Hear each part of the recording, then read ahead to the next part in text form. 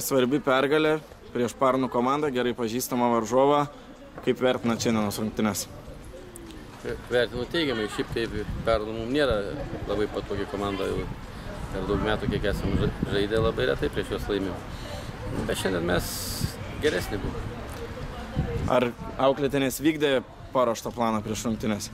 Taip, jos viską vykdė, kas yra, buvo nurodyta.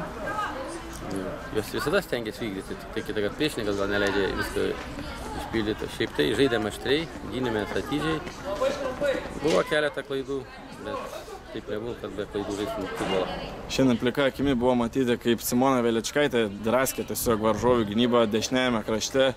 Ką užvalgė šiandien Simona, kad taip gerai rungtyniavo? Nu, Sima sunkiai įsivažiavo į sezoną, nes turėjo sezoną pradžioje traumą, negalės visą komandą pilnai treniruotis, bet va dabar jinai geroj formoje yra. Ir, ir, ir su Minsku pirmą kėlinį aktyviai buvo, ir šiandien visas rungtynės. Biški sėkmės pritūko, jie pati galėjo dar ir mušti. Šį kartą tikrai galime pasakyti, kad rezultatas, na, triuškinantis 3-0, bet jis galėjo būti kur kas didesnis. Kuo paaiškintumėt e, progų nerealizavimą?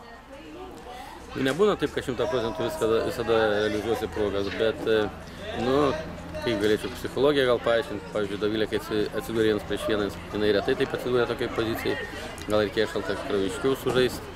E, šitą Jelena daug progų turėjo, bet jinai labai didelį darbą atliko, gal tik paskutinė fazė pritrūkdavo nu, sveikatos. Nu, tokių priežastėlių yra, bet vis tiek įmuša. Ši pergalė praktiškai užtikrino vietą pirmajame ketvirtuke, finalinėme ketvirte, tai būtent toks ir buvo tikslas turbūt kuo greičiau užsitikrinti tą vietą finaliniam ketvirte.